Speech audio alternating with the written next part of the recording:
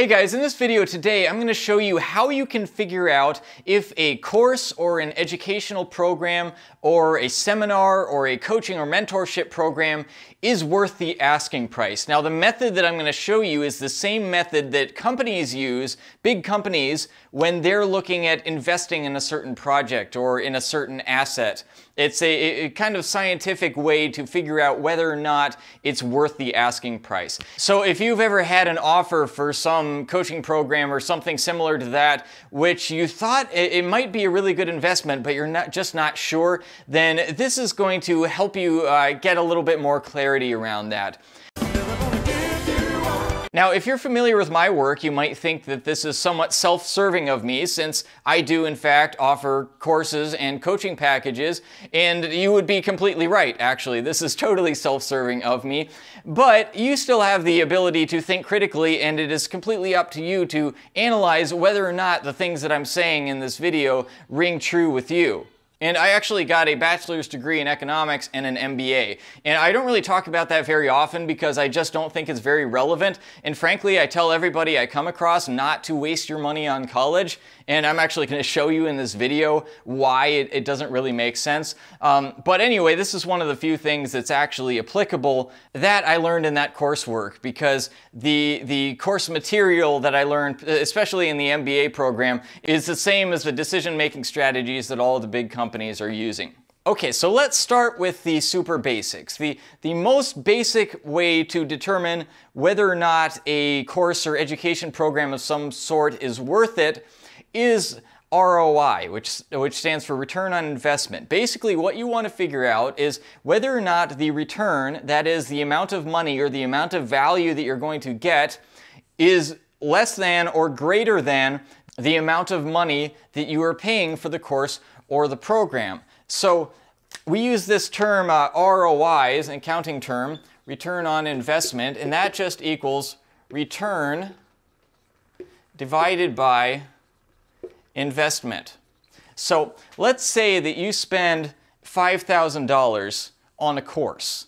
Then your investment would be $5,000. So let's try that. Put $5,000 for the course. Now, if you make, let's say you make $10,000 back, then the uh, 10,000 divided by 5,000 equals 2. So we would say you have an ROI of 2, or a 2 times ROI. Your investment of 5,000 yielded double the amount of the investment. Or if, you know, if you yielded 100,000, then you'd have a 20 times ROI.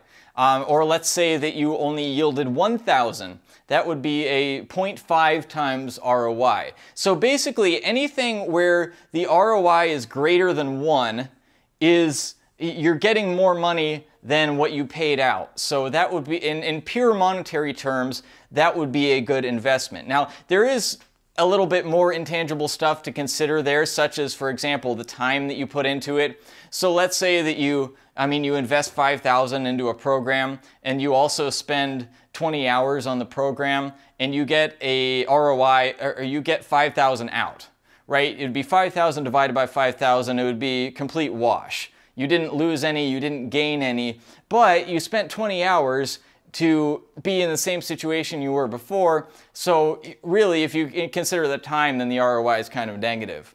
Okay, so that's concept number one is the ROI. Now, it's hard to use this just by itself because, to be perfectly honest, you don't know what the uh, return is going to be right? You know what this number is, you do not know what this number is just yet.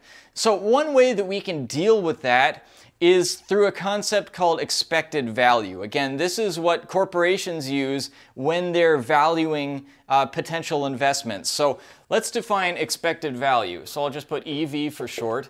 Expected value equals, let's say, payout times probability. So let's use a really simple example again. Let's say that your course uh, promises that it can make you $100,000, right? Let's say $100,000 over the lifetime of the course. So your expected value, the, the payout is $100,000. So your expected value in this case equals 100,000 times the probability. That is, what is the chance that it's going to come through? Right? The, the fact of the matter is that even the very best course or program that you can get is not, it's not going to be 100% probability.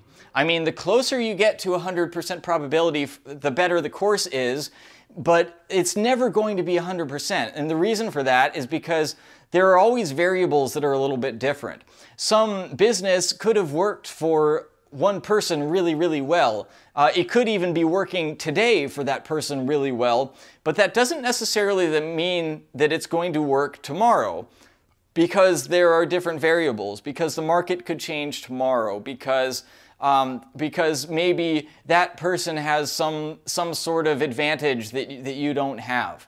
You know, and it's impossible to really control for all of the variables. So the truth of the matter is that probability is never 100%, right? You never 100% guaranteed an outcome.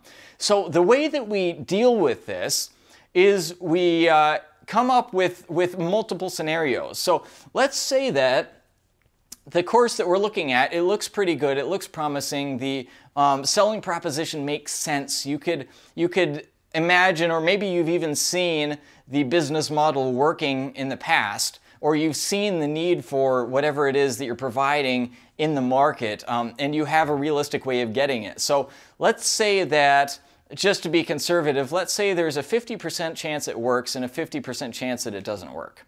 Right? So what we would do is we would multiply that um, $100,000 times 0.5 or 50%. And so what we get is $50,000. The expected value of the course or the program is $50,000. So basically any, any number, any price tag that is less than $50,000 in this case would be worth the money, or at least it would get a positive ROI. Okay, so this is basically the simplest way to do the uh, expected value equation here. So let's try something else. Let's put a few different options in here because chances are it's not a matter of, of you know, you're going to make $100,000 or you're going to make zero and there's no other possibility. So let's say that uh, instead we get, we have a few possibilities. So let's say we can make 200,000, we can make 100,000, we can make 50,000 or we can make zero. And just for the sake of simplicity, let's say that all of these outcomes are equally likely, right? That means that we have four outcomes. That means that we have a 25% chance in each of the outcomes of, of that being the outcome that you get. So let's say uh, we'll, multiply all of these times 0.25. So in every case, the chance is 0.25. And so we get, uh, this would be 50,000.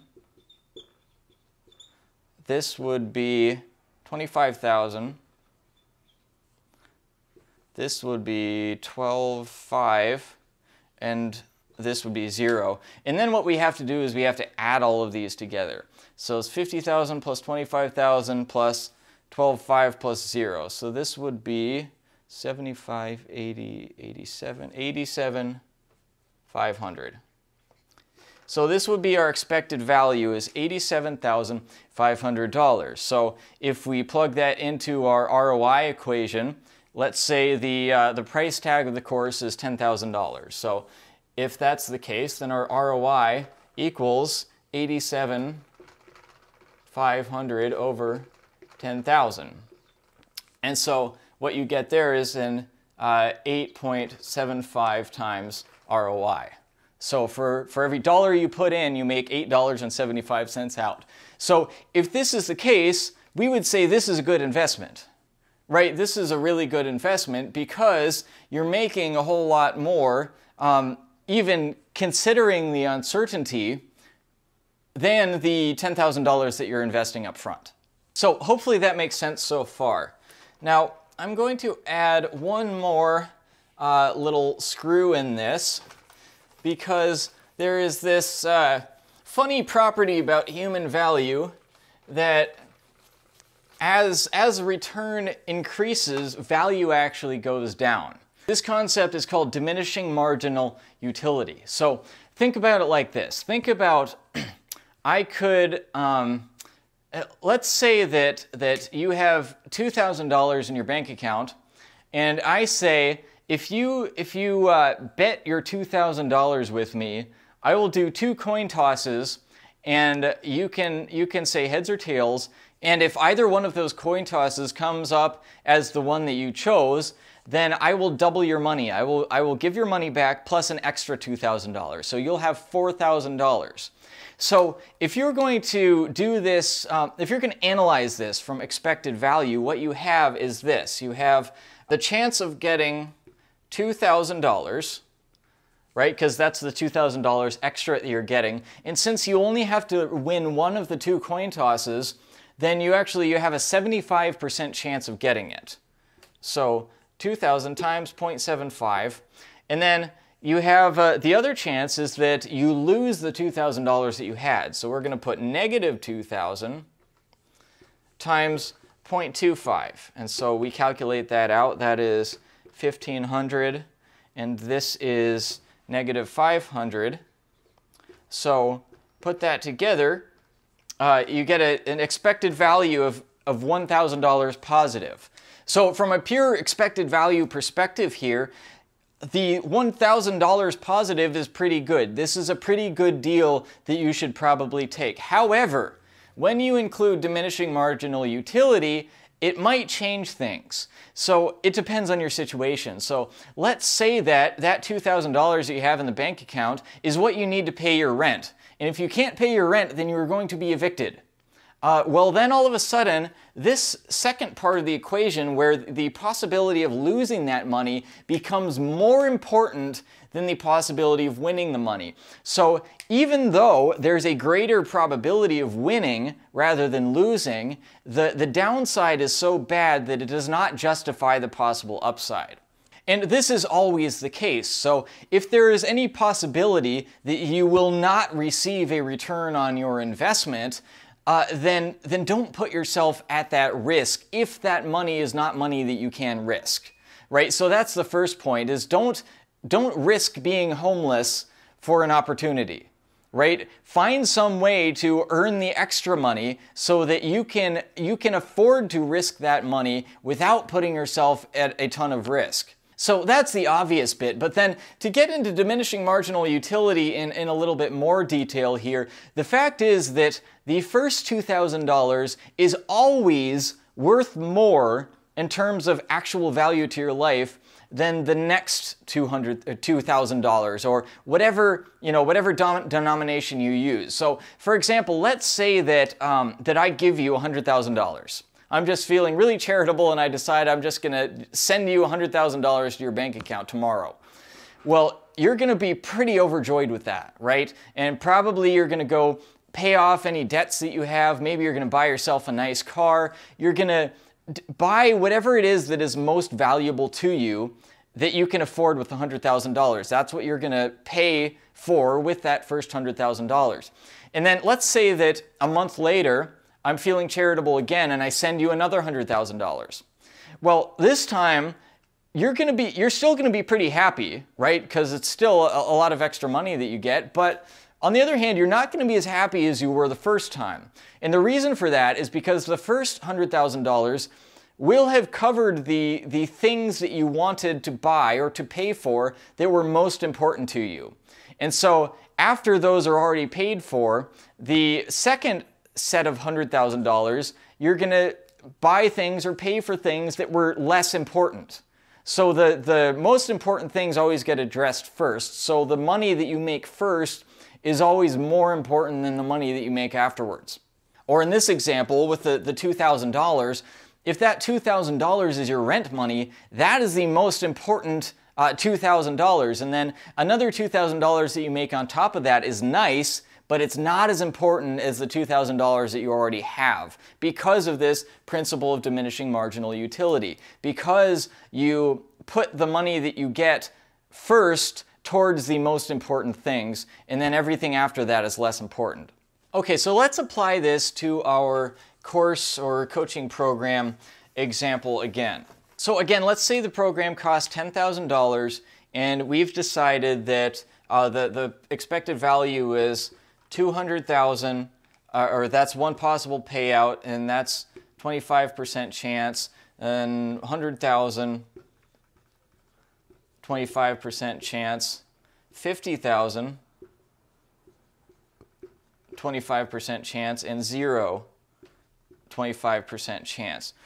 Well, what we could do here is we could we could realize that even though these are these four are all equally likely, they're not all equally valuable. Right? So this 0 times 0.25 is really it's more important uh, that you that you don't waste that $10,000 initially because that $10,000 is going to be worth more than every, every increment of 10,000 that comes after it. Um, right? So you have to weight it accordingly. Now, the fact that you can make 200,000, which is, what's that, 20 times the initial investment, the sheer magnitude of that can definitely overshadow the, um, the importance of the 10,000, right? If, if it was just purely you, you can earn 20,000 or you can earn zero for your 10,000, both, both equally uh, likely outcomes, then it would clearly be not worth it because the first 10,000 is more important than the next 10,000. However, when you're looking at uh, the possibility between 10,000 and 200,000, well, the fact that this is so much bigger than that 10,000 skews the, the equation in, in the favor of it being worth it.